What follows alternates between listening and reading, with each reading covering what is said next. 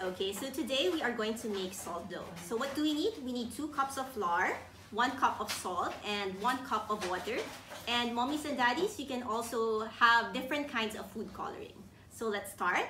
Um, first, let's scoop the flour. Mommies and daddies, you can assist your champs in scooping as this is a, a good way to work on your champs fine motor skills. Okay, so I'll just put the flour inside. All right put the salt and let's put the water inside? Okay. All right so for this activity I'm going to use color red.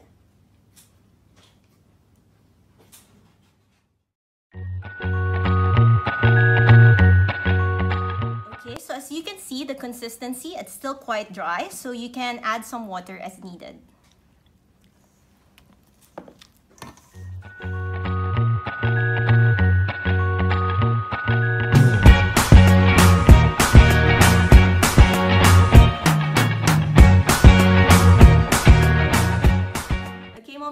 so this is the finished product of our salt dough. You can incorporate a lot of fine motor activities with your champs. So for example, we can do rolling.